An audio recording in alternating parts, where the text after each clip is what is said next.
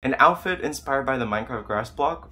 Let's try. Excuse how wrinkly it is, but this is a green shirt. There's grass on top. I'll say it counts as texture. Let's add another layer of green because you can also see my nipples, so let's hide them. This is also corduroy, so more texture. Let's leave it like that. Another layer of corduroy because dirt's on the bottom. I need my favorite belt again. It's also brown, so it actually matches this time. Brown shoes? Do these jeans not fit me anymore? I, have I grown actually? Look!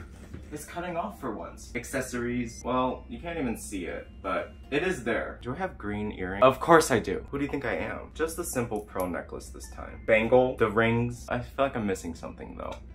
That's better. Don't forget the bag. Look at how good it fits. And this is the final look. I love green. No one's gonna know you're doing a grass block, but at least you do. And that's the whole point. Make outfits fun again. Make them more fun, y'all. I mean, just, it, it all matches. Ow, that hurt.